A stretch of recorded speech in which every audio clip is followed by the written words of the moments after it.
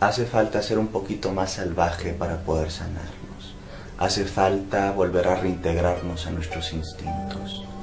Hace falta volver a ser como la loba, como la que sabe, como la mujer salvaje que habita en, la psique de mujeres y evidentemente también de hombres, porque todos los hombres también provenimos de lo femenino y tenemos nuestra faceta anímica o el ánima, que es la fuerza femenina eh, dentro de nuestra psique.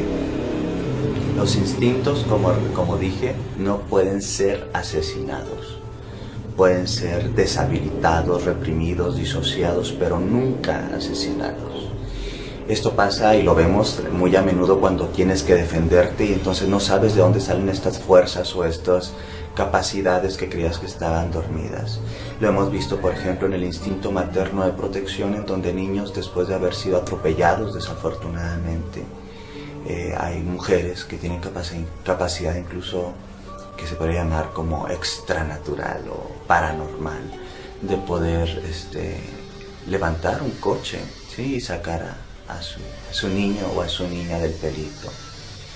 Los instintos heridos tienen que ver mucho con la sobrecivilización que hemos tenido en el patriarcado y cómo hemos negado el instinto, sí, la intuición y los aspectos del hemisferio derecho, y hemos sido profundamente racionalistas, positivistas, eh, cuadrados en pensamiento y queremos trabajar únicamente con el hemisferio izquierdo. Esta faceta instintiva está dentro de todas y, de todos, pero tiene una confrontación grande, tiene una confrontación que tiene que ver con, con el miedo a ser inadecuados, con el miedo a ser extrañas o raras, con el miedo a no ser civilizados.